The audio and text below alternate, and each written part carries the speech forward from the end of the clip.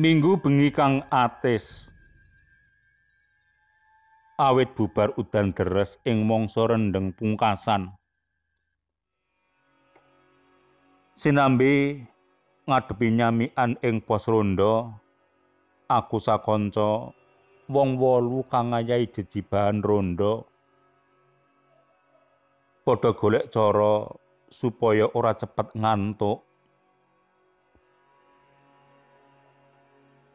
Ngepasi tabuh kaping pindho swasana tambah nyenyet swara angkup gori lan kewan bengi bebarengan sumilire angin kang atis ketambahan kahanan jaban pos kang isih akeh wit-witan gedhe tur ngrembuyung nambahi kahanan desa wengi iku katon tintrim nanging gandeng wis kewajiban aku sakonco tetep nindakake wajib mubeng desa saperlu njupuki jumputan kejaba Mas Driatmo lan Mas Ari sing ditinggal. Amarga wis jingkrung ngiras tunggu pos rondo. Gandeng mentas wae udan dalane rada jeblok dadi anggone lumaku kudu alon-alon. Tekan ing pojok iring kidul desa katon watu pating blasah ndadekake angku sakanca kudu luwih ngati-ati. Kejaba aja nganti kesandung uga aja nganti kesiku. Awit ujaring kandha watu-watu kuwi isih wingit. Mulane aku sarombongan ora wani sembarangan. Pak Sun, mbok menawa panjenengan durung nate mireng cariyosipun selo-selo menika. Ngendikane Pak Kadari sawise tekan pos rondo. Pitakonan kang katujokake marang aku awit aku manggon ing omah kontrakan ing desa iki durung suwe. Udakara lagi setengah taunan inggih leres. Wangsulanku kang sejatine ya kepengin ngerti kahanan ing kiwa tengene kene. Klebu misteri watu iku. Anu Pak Sun miturut ngendikane Mbah kula watu candhi nika wonten critane sing ngandung misteri lho. Sumambunge Mas Prayo sing kawit mau mung nglegeyeh sinambi nyakoti tahu susur. Leres masun. Kulo malah nate nyipati piyambak bab menika. Sambunge Pak Domo. Priyayi sing paling sepuh ing rombonganku. Sajak ngiyakinake penemune kanca-kanca mau.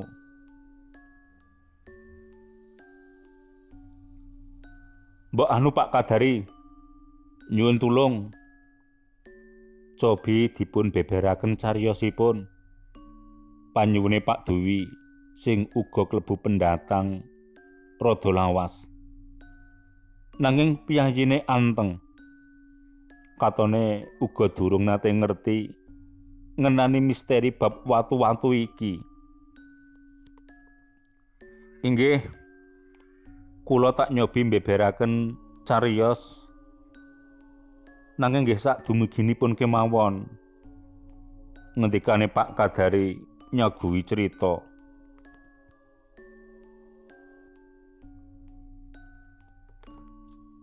Rikala Pak Kadari isih remaja udakara taun 1970-an kahanan desa isih sarwa prasaja. Lire listrik lan pembangunan dalan durung mlebu. Satemah yen wayah surup kahanane katon nyenyet bisa kaumpamakake kaya swasana ing kuburan wae. Kemliwere wong bisa diitung nganggo tangan siji. Ing pojok iring kidul desa ana lemah pekarangan duweke warga kang akeh watu candine. Embuh saka ngendi tekane ora ana sing ngerti. Awit warga sing saiki manggon mung antuk warisan. Miturut ujare kondo, watu-watu kuwi klebu watu candi. Lan areal kono mau katelah tilas candi bubrah.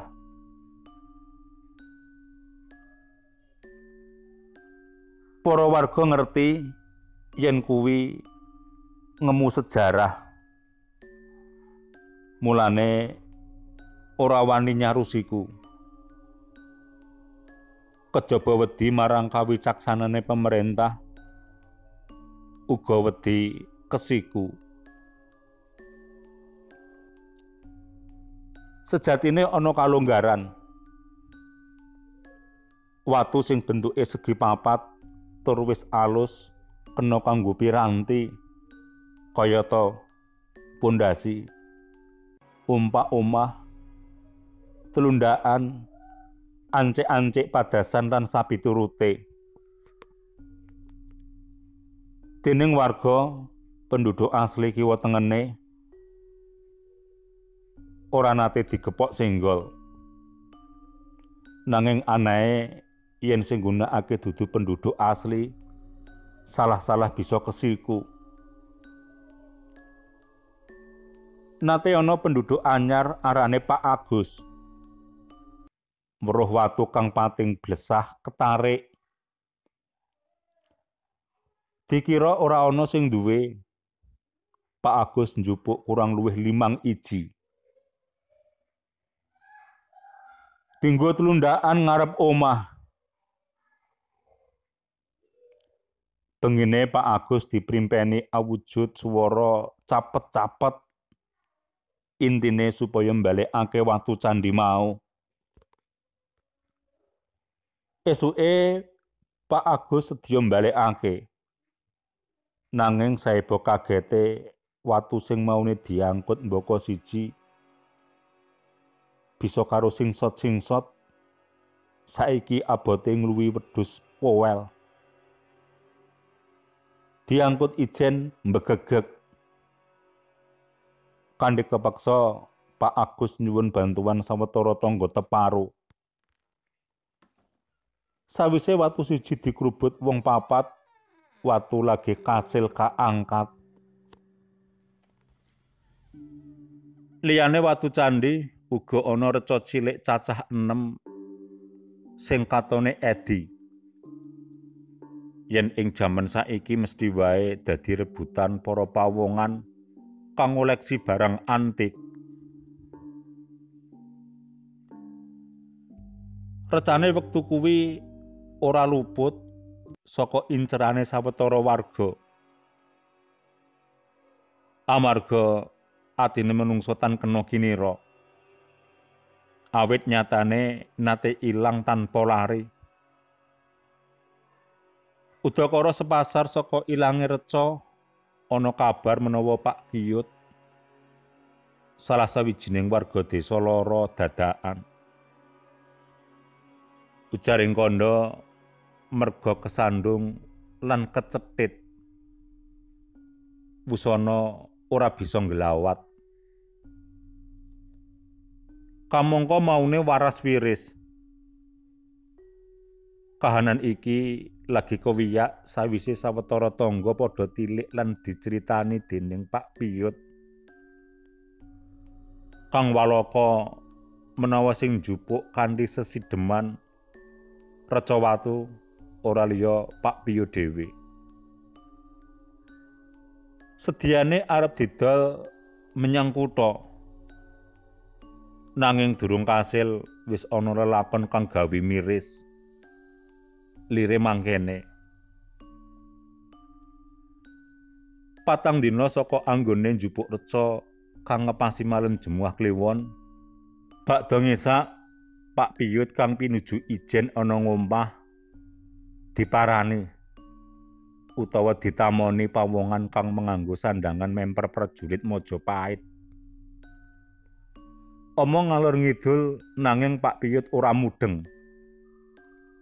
Suwe-suwe katon nesu terus Pak Piyut dijembalani lan diuncalake. Pawongan mau katon sekti mandraguna. Pak Piyut ora blereng. Niate ngadu kasudibian nanging ora kuwowo. Mulane kan gampang wae Pak Piyut dikamlengi nganti tele-tele lan cekrah-cekrah. Bareng ditangkokake wong tuwa dibethek menawa Pak Piyut nyimpen barang wadi kang dudu hake. Lan nuli diaturi mbalekake barang kasebut ing papane. Waktu iku uga Pak Piyut duwe karep mbalekake reca sing disimpen. Nanging saebo kagete reca wis ora ana. Tanpa ninggal tilas. Kandi gegancangan Pak Piyut didabiang bebarengan sawetara warga menyang pekarangan Candi Bubrah. Pranyata reca wis mapan kanthi becik ing papan sekawit. Sedina saka kedadian kuwi, Pak Piyut bali waras wiris kaya wingi uni lan bisa makarya kaya padatan. Sabanjure, kedadian kang keri iki meh wae nuwuhake raja patine supir lan kernet truk saka arah Yogya Solo. Waktu kuwi udakara jam siji awan. Hawane panas ngentak-entak kaya arep mecah-mecah no sirah kae. Pak Aman ing wektu kedadian iku ngepasi leren anggone macul ing pategalan sapinggire dalan gedhe. Sawetane lemah pekarangan Candi Bubrah.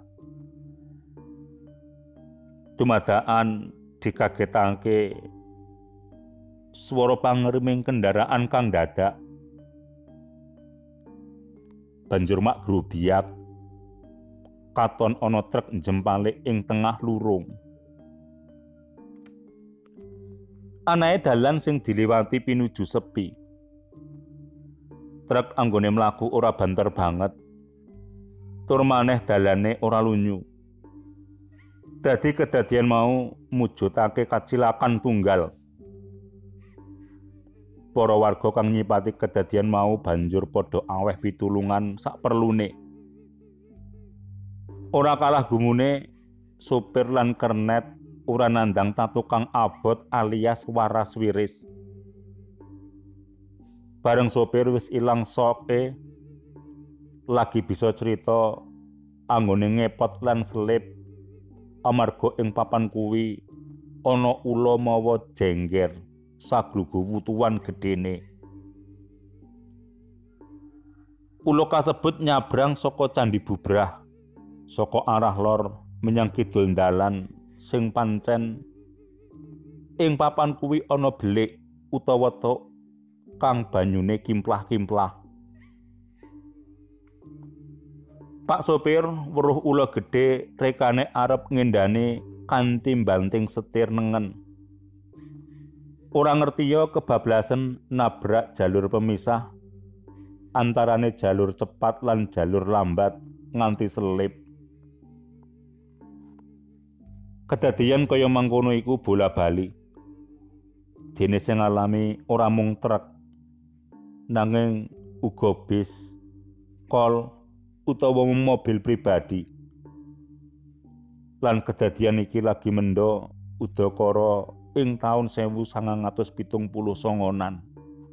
Miturut para sopir sing ngalami musibah, jare weruh ula mawa jengger saglugu wutuh malang dalan. Sing upaya ngendani ndadekake bilai.